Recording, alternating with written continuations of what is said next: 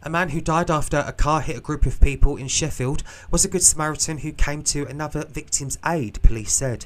Father of two, Christian Marriott, had stopped to help an unconscious woman after a row between two groups in Burngrave on Wednesday afternoon. As emergency crews responded to reports of initial injuries, a car hit people.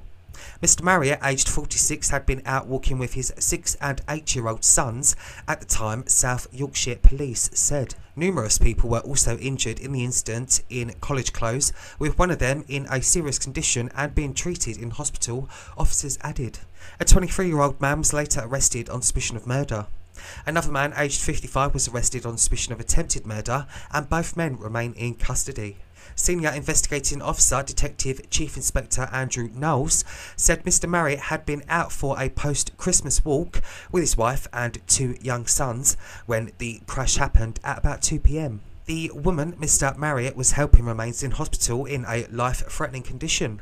Another man suffered serious injuries, and three women and a man all suffered minor injuries. And an off duty midwife who stopped help suffered minor injuries, the police said. Oh my days, you can't die.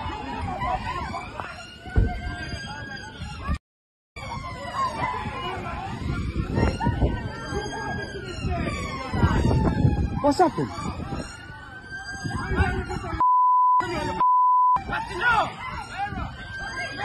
And in a statement, the family of Mr. Marriott said, Chris was a wonderful husband, dad, brother, uncle, and friend to many. He devoted much of his life to helping others. The circumstances of his death, although tragic and unfathomable to us, his family, show the sort of man he was to go and help rather than turn away.